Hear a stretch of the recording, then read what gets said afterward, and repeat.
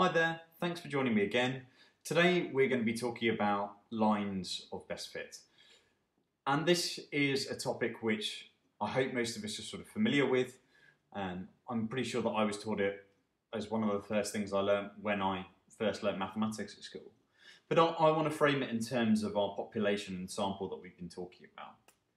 So we might hypothesize that there is some relationship between the number of years of education someone has and wages within a population.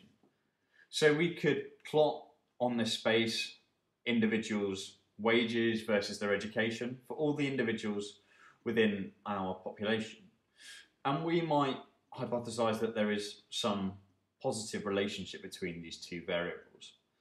It's probably not exact, but there is some sort of positive correlation between the two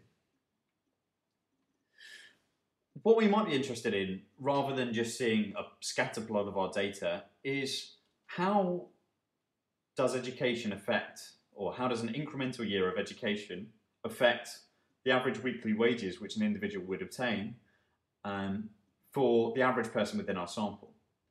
So the way in which we, we normally do that is we think about can we draw a line which fits our data pretty well by eye? So we might draw a line which goes through our data like that. Actually, that's not very good. Let me try that again. So we might fit a line which goes through our data like that. Again, not the straightest line in the world, but you, you get the idea.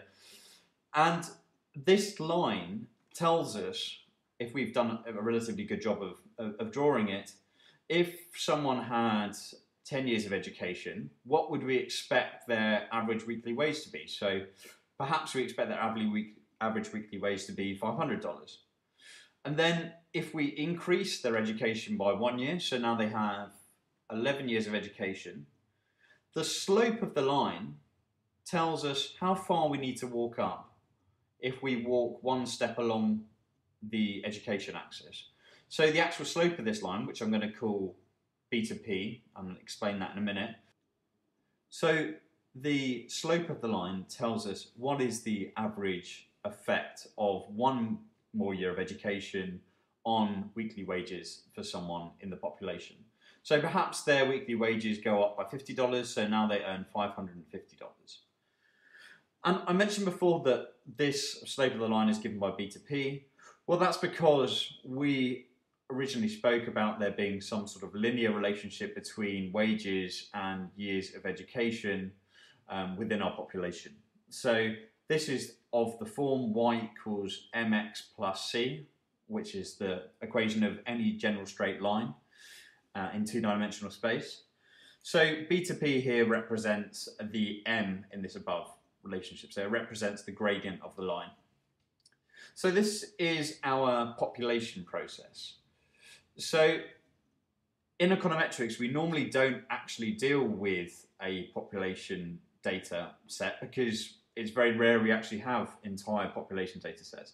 Normally we only have a sample. So perhaps we have maybe 10 of these individuals from the sample. So maybe it's these people which I'm highlighting here. And we could again plot them in two-dimensional space of wages against education, but now we have fewer points than we did before because we've only got a sample of our population.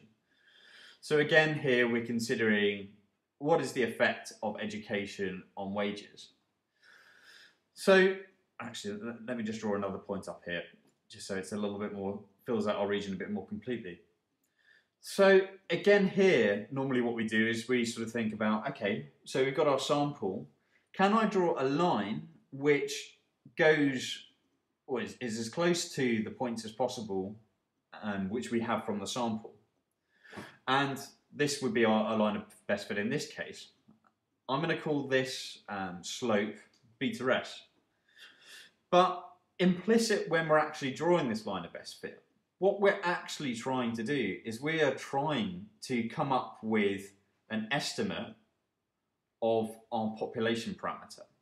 The goal of this, of course, being that if I told you someone's years of education, let's say I, I said using your line of best fit from your sample data, can you predict what their wages would be?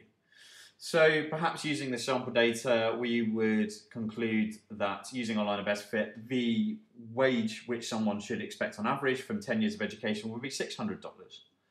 And notice that this isn't the same as our estimate if we were to use the full population.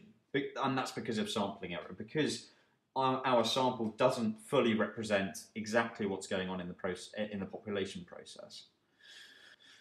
So we've spoken about what we actually are trying to do when we draw a line of best fit, but we haven't spoken about how we should actually go about drawing it. We, have just sort of done it by eye. And, and that's kind of okay if, you, if it's only sort of two-dimensional data. Although it, you could argue that perhaps it's not that objective. So perhaps I could have drawn this line a bit closer to a few more of these points down the bottom there and perhaps a little bit less steep. That is a sort of subjective thought process which is going on in my head. So perhaps I should have done it like that. But we need an objective way of drawing or, or, or coming up with our estimate of beta, well, estimate of beta p, um, which is realized in beta s. So that's when we have to think about methodologies for drawing a line of best fit. And implicitly, when we're drawing a line of best fit, we're typically talking about estimators. And we're going to discuss how we should draw this line of best fit in the next video. I'll see you then.